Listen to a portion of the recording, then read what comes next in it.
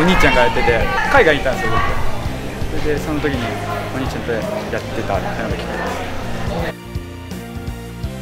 す。コルミがやってる東海大会では小4の時今北北口です。最後の大会で準優勝してます。勉強第一でそこで一番上だったんでやりましたやっぱ3年生で最後の大会で僕もなんか途中から冬ぐらいから、えっと、3年生として試合出させてもらっててでなんかなんか最後の試合でなんかもう3年生と一緒に勝ちた勝って終わりたいなってなったんですけど、まあ、できなくて悔しかったですけど、まあ、3人残ってくれたんでやっぱりそこはなんか最後には頑張りたいなって責任はあります。一勝してベストです。